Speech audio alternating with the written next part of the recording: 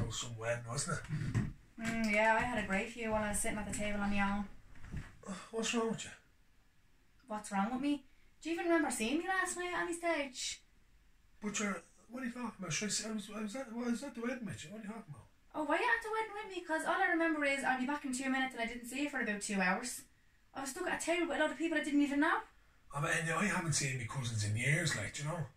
Like, why would you bring me if you're going to leave me on my own? I was sitting beside some fella who sold silage for a living. Like, what would I have in common with someone like that? Oh, Uncle Mick. Oh, he's sound affairs. But I brought you over a few drinks anyway, like, you know?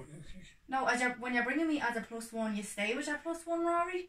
I mean, yeah, I had to meet you back at the room. What time's that? About three in the morning.